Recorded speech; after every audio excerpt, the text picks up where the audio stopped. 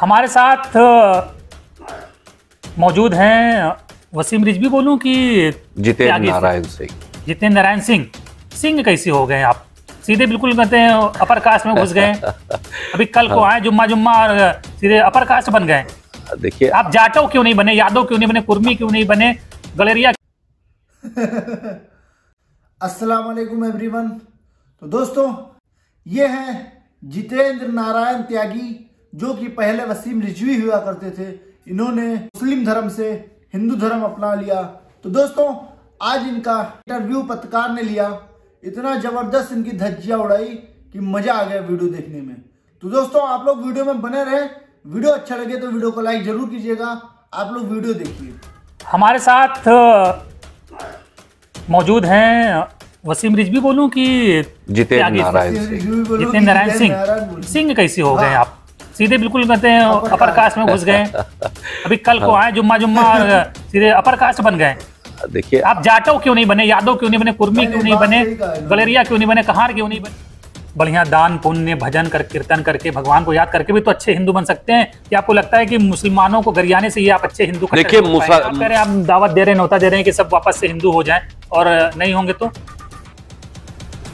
आप कट्टर हिंदू हिंदू हृदय सम्राट जितेंद्र नारायण सिंह को न्योता नहीं मिला कल अयोध्या में जाने का। देखिए। वहाँ जितेंद्र नारायण सिंह त्यागी भूतपूर्व में वसीम रिजवी हुआ करते थे और अभी हिंदू बने हैं दो ढाई साल पहले। तो ज़ाहिर बात है कि जैसे नया मुल्ला प्याज बहुत खाता है वैसे ही कट्टर हिंदू बने हुए हैं। बहुत ज़बरदस्त इन्होंने जवाब दिया है। हमारे साथ मौजूद हैं वसीम रिजवी बोलूँ कि जितेंद्र नारायण सिंह। जितेंद्र नारायण सिंह। सिंह कैसे हो गए आप? सीधे बिल्कुल कहते हैं अपर कास्ट में घुस गए। अभी कल को आए जुम्मा जुम्मा और सीधे अपर कास्ट बन गए। देखिए। आप जाटव क्यों नहीं बने यादव क्यों नहीं बने कुर्मी क्यों नहीं बने गलेरिया गलेरिया क्यों नहीं बने कहार क्यों नहीं बने सीधे सिंह क्यों बन गए? मैं हिंदू हूँ। तो सिंह क्यों बन गए हिंदू में? सिंह इसलिए बन गया हम्म। कि जिसने मुझको अडॉप्ट किया हिंदू धर्म में। हम्म। वो अरे हम लोग तो अपने लोगों को अडाप्ट करते नहीं जल्दी। आपको कहाँ से अडाप्ट कर लेंगे? देखिए अडॉप्ट किया अपने लोगों को तो हम लोग रोटी बेटी का रिश्ता कायम करते नहीं है। और आप अभी आए अब आपको हम अडाप्ट कर लेंगे। लेकिन ये जो चीज़ें अगर आप नारा देते हो कि आप सनातन में घर वापसी करो। वो नारा है? नहीं नहीं नारा नहीं है। हम्म, ये नारा क्यों है? क्या हिंदुस्तान में मुसलमान कहाँ से आ गया? मुगलों की जारती से मुगलों के कन्वर्जन से ही यहाँ पर मुस्लिम पैदा हुए और जितना भी यहाँ पर मुसलमान है उसमें अगर हम ये माने तो 99 परसेंट मुसलमान वो है जो हिंदुस्तानी हिंदू था और कन्वर्टेड है। ये तो सबको पता ही है। है। ये बताइए अयोध्या में जो मंदिर बना है भव्य मंदिर बना हुआ है तो क्या कहेंगे? साहब ये हमारे भगवान श्री राम की एक जीत है। आप वहाँ पर जो एक विवादित ढांचा था जो बाबर के ज़माने में बनाया गया आप इस चीज़ को ऐसे देखिए कि अयोध्या हमेशा से हम्म, मंदिरों की नगरी रही है। लोग कहते हैं कि वहाँ पर मंदिर नहीं थे। एक मस्जिद बनी। मुगलों ने छेड़ छेड़ कर वहीं पर हिंदुओं की आस्था पर हमला किया जहाँ पर उनकी कहीं ना कहीं उनके भगवानों के जन्म स्थान थे चलिए तो भूल सुधार हो गया ना आप तो। ठीक है सुधार हो गया तो ये भगवान राम की जीत है ना 500 साल के बाद दोबारा वो चीज़ वापस हुई। ऐसा ऐसा खाली हिंदुस्तान में नहीं हुआ है। हम्म, आप देखिए ये जब वहाँ पर स्पेन में मुगलों इस्लाम ने हमला किया था वहाँ के एक चर्च को मस्जिद बना लिया था आज वो चर्च फिर आज़ाद हो गया आज फिर वो चर्च है। तो आप जारती करके किसी की चीज़ को हजम करके बहुत दिन तक नहीं रख तो सकते। सुधार हो गया ना काम खत्म अब बात रात गई बात गई। ठीक है अभी तो बहुत कमाल हो गया ना। बहुत भूल सुधार होने हैं अभी तो बहुत सी चीज़ें बाकी हैं काशी बाकी है मथुरा बाकी है। जिस जहाँ पर जाति हिंदुओं के साथ में हुई है मुगलों ने की है वो सारी जातियों के निशान मिटाने बाकी हैं। आप कट्टर हिंदू हिंदू हृदय सम्राट जितेंद्र नारायण सिंह को न्योता नहीं मिला कल अयोध्या में जाने का? देखिए वहाँ पर हम ये समझते हैं एक बड़ा प्रोग्राम था। न्योता मिलना ये कोई इज़्ज़त की बात नहीं है कि हमको मतलब इज़्ज़त नहीं मिली तो न्योता नहीं मिला।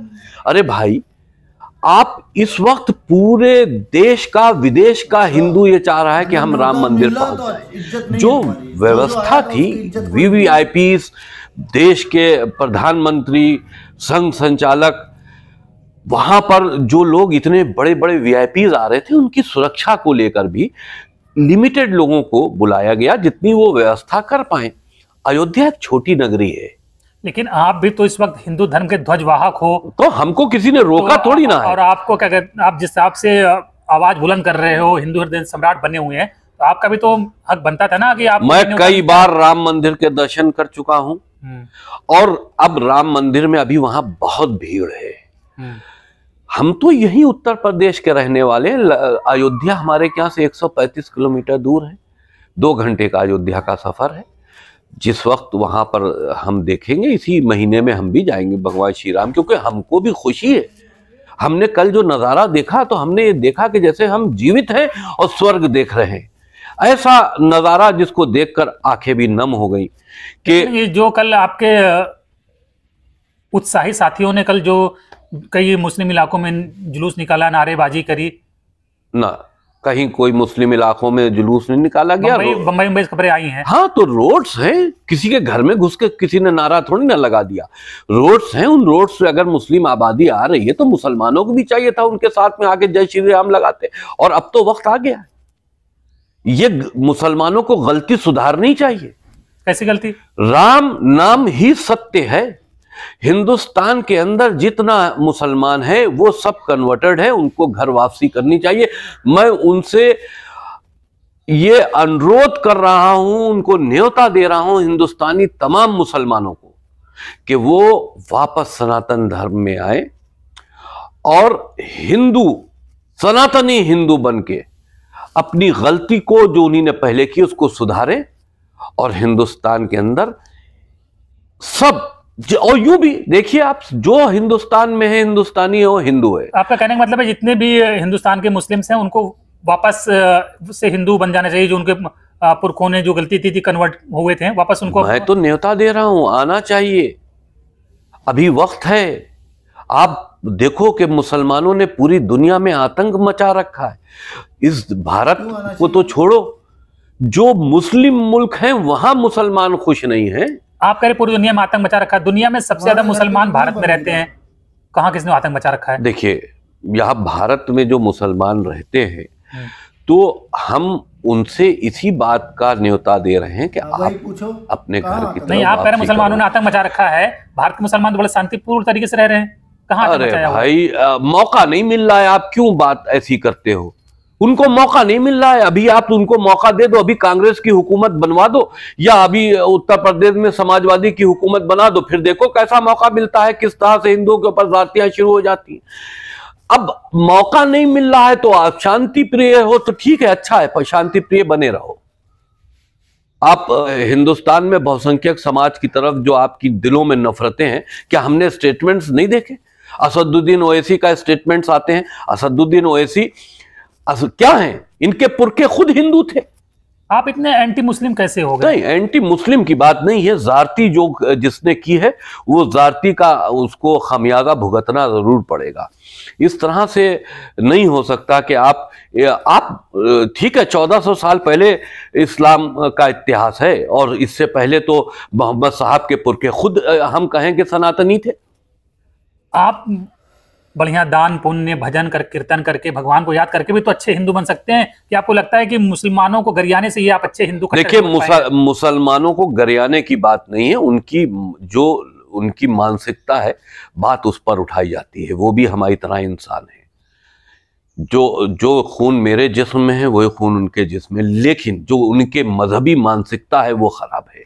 चौदह सौ साल पहले जिस तरह से इस्लाम की स्थापित किया गया, जो लाइन मुसलमानों ने पकड़ी है, वो गलत है। आप, अब आप देखो, बात उठती है तो कही जाती है, अजान के ऊपर है। अजान आप देते हो यह आपत्तिजनक अजान है। अजान में आप चैलेंज करते हो संविधान को, आप दूसरे धर्मों को। कैसे? अल्लाह अकबर कहते हो हम बिल्कुल इस बात पर आपसे तो मतलब हैं। गॉड इज़ ग्रेट यस हम भी कहते हैं जिसको तुम मान रहे हो ग्रेट है हमें कोई आपत्ति नहीं है। लेकिन उसके बाद तुम कहते हो ला इलाहा इल्लल्लाह यानी कि अल्लाह के अलावा कोई दूसरा पूजनीय नहीं है इस पर आपत्ति है। नहीं तो उसका वही मतलब अल्लाह मतलब गॉड भगवान ईश्वर? ईश्वर गॉड। नहीं ईश्वर नहीं। मुसलमानों से अल्लाह का मतलब पूछो तो वो कहते हैं वो अल्लाह जिसने हम लोगों को सबको बनाया ठीक हमने मान लिया। लेकिन उसके अलावा अल्लाह गॉड में फ़र्क है? बहुत फ़र्क है। अल्लाह का मतलब ही ये है कि अगर अल्लाह को आपको डिफाइन करना है तो अल्लाह को आपको कुरान से ही समझना पड़ेगा। अल्लाह को आप किसी वेद से बाइबल से नहीं समझ सकते। अच्छा आप कह रहे हैं आप दावत दे रहे हैं नौता दे रहे हैं कि सब वापस से हिंदू हो जाएँ और नहीं होंगे तो? नहीं होंगे तो इंसान बने रहो भाई हम तो तुमको अच्छाई की तरफ़ बुला रहे हैं। एक, एक तुम्हारे जैसे तुमको सनातनी से तुमको इस्लाम की तरफ़ दावत दी गई मोहम्मद ने दावत दी उसी तरह से हम तुमको सनातनी होने की दावत दे रहे हैं कि वापस आओ इंसानियत की तरफ़। सनातन से अच्छा कोई इंसानियत के लिए दूसरा मज़हब है नहीं जो पूरे विश्व में मनुष्य के लिए बात करता है। कोई धर्म जाति का कोई विवाद नहीं है। मनुष्य के लिए बात करने वाला सनातन धर्म है। आप किसी भी दूसरे धर्म को देख लो, चाहे वो क्रिश्चियंस हो, चाहे वो यहूदी हो, चाहे वो मुसलमान हो, वो अपने लिए बात करते हैं मुसलमानों में, सिर्फ़ मुसलमानों की ही बात की गई है, यानी कि दूसरा कोई मज़हब को मानने वाला उनका दुश्मन है। गैर मुसलमान काफिर है। काफिर का मतलब धर्म काफिर में अपने अपने मसले हैं। हमारे हिंदू धर्म में कम मसले सनातन हिंदुओं में धर्म अपने बहुत आपस में मसले हैं देखिए जात पात के। जात पात एक अलग इशू है। वो वो एक एक व्यवस्थाएँ हैं और इसको अब ज़्यादातर लोग मान भी नहीं रहे हैं और ये बहुत अच्छा हिंदू हिंदुओं के अंदर सनातन धर्म में एक ये बहुत अच्छा व्यवस्था है कि वक्त के हिसाब से इंसा, इंसानियत के प्रति वो अपने को बदलते रहते हैं। बहुत सी ऐसी प्रथाएँ थी जो हिंदुओं ने खुद बदल ली। चलिए देखिए तो दोस्तों ये हैं वसीम रुजवी जो पहले हुआ करते थे अब तो जितेंद्र नारायण त्यागी हैं। तो दोस्त इनके हिसाब से सिर्फ़ सनातन धर्म ही अच्छा है और सारे धर्म बुरे हैं। तो दोस्तों आप लोगों ने देखा इस पत्रकार भाई ने कितनी अच्छी अच्छी इनसे सवाल पूछी है सवाल में घूम के बच गए थे, दिमाग इनका फंस गया था। तो दोस्तों आई होप ये वीडियो आप सबको अच्छा लगा हो। वीडियो अच्छा लगा हो तो वीडियो को लाइक करें। चैनल पे अभी तक नए हैं तो चैनल को सब्सक्राइब करें और बेल आइकन को दबाना बिल्कुल ना भूलें, क्योंकि आने वाली वीडियो की नोटिफिकेशन आप लोग मिस ना कर सकें। मिलते हैं किसी नेक्स्ट वीडियो में। तब तक के लिए अल्लाह हाफिज।